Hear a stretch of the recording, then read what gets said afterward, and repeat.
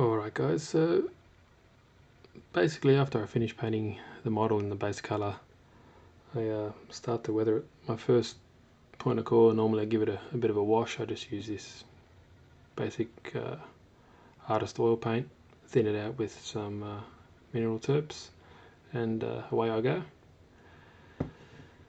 I've got a few of these little Tamiya weathering sticks, they're very handy, uh, just very convenient. But uh, you know, you don't just use that alone. You mix it with some other things to create a good effect, like I have here.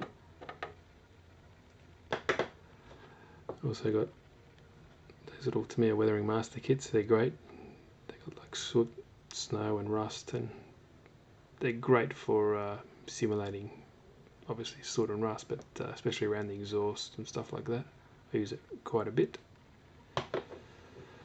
Um, I know this is this color I love. This is a great paint, burnt umber. I mix it with uh, all my uh, pigments and stuff like that to give me the mud effect and some rust colors. So I always use this color. Oh, I need to get some more.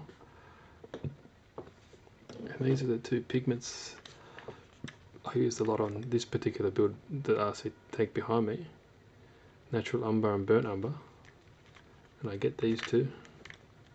Add a little bit of this for color and I get this craft glue which is a tacky version kind of when it dries it dries a little bit uh, flexible.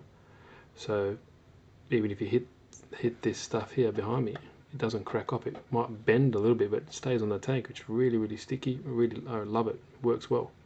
So they're the basic stuff I use. I'll show you my tank quickly before this battery runs out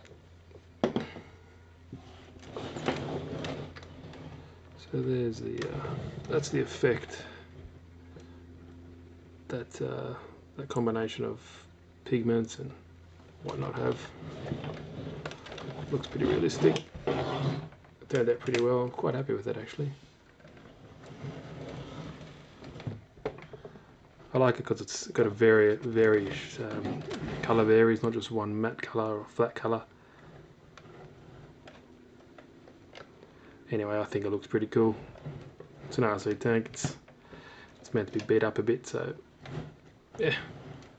Cut the fenders off. Obviously, I just use a Dremel tool all the way down here. Grinded it all off. Grinded it all off. Sanded it, and I based this lower hull off. Uh, I think I think very very very early Tiger One hulls. Pretty much had nothing on the sides. I didn't even have the uh, what's it the side skirt mounts. So yeah, I think it looks cool. I'm happy with it. What do you guys think?